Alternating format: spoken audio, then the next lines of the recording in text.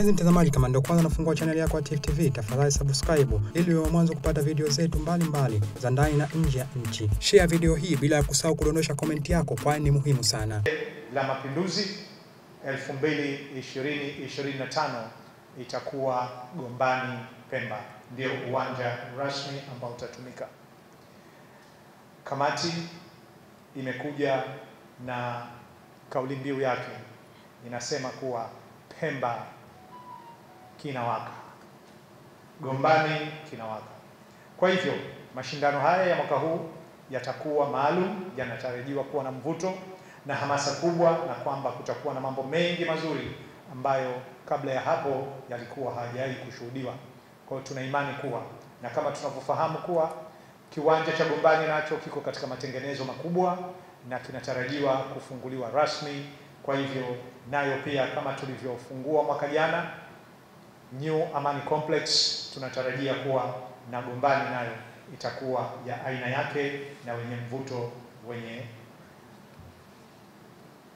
hali ya kuvutia zaidi. Kwa katika kunogesha mashindano hayo, kamati kwa kushirikiana kushirikiana na wadhamini na wafadhili tofauti imejipanga kufanya mashindano yatakayofurahisha watu wa rika zote na wapenzi wote wa mpira wa miguu na hata wale wasiokuwa wapenzi wa mpira miguu. Basi mwaka huu nao pia tunaamini watakuwa ni miongoni mwa wale ambao tutashirikiana nao katika kuona kuwa tunakwenda katika shughuli yetu hii kwa maana tukiwa na ladha ya aina yake, vionjo vya aina yake na furaha yote kwa watu wote. Hakika yatakayokuwa Pemba si ya kukosa. Ewe Mzanzibari, ewe Mtanzania, ewe wa Afrika Mashariki, andaa ratiba yako kwa uhakika. Tarehe za mashindano tayari tumeshazitoa, ujipange baina ya tarehe tatu hadi tarehe kumi na tatu. Basi siku kumi hizo uhakikishe uko katika kisiwa cha Pemba. Pia kabla sijazitaja timu shiriki, naomba kuchukua fursa hii kushukuru na kuipongeza Serikali ya Mapinduzi Zanzibar ya awamu ya nane chini ya uongozi wa jemedari kiongozi wetu, rais wetu mpendwa. Lakini pia sote tunafahamu na tunajua mwana michezo mahiri, tuliona video yake wakati ule wa uzinduzi wa uwanja, lakini pia uzinduzi wa jezi. Kwa hivyo hii pia itakuwa ni fursa muhimu kwa Wazanzibari kuiona jezi yao mpya ya timu ya taifa yaani ya Zanzibar Heroes ikivaliwa rasmi katika mashindano. Kwa hivyo tunampongeza sana Mheshimiwa Rais wa Zanzibar, mwenyekiti wa Baraza la Mapinduzi kwa uongozi wake imara, kwa kuimarisha miundombinu, lakini pia miundombinu hiyo ya michezo, lakini pia kukuza vipaji vya wanamichezo ikiwa pamoja na viwanja sorry, na pamoja na ujenzi wa viwanja vya michezo. Kama tunafahamu kuwa kuna viwanja ambavyo vinakuja katika wilaya zote za Unguja na Pemba, hali kadhalika madhali vipo katika wilaya, maana yake na mikoa nayo itakuwa hivyo.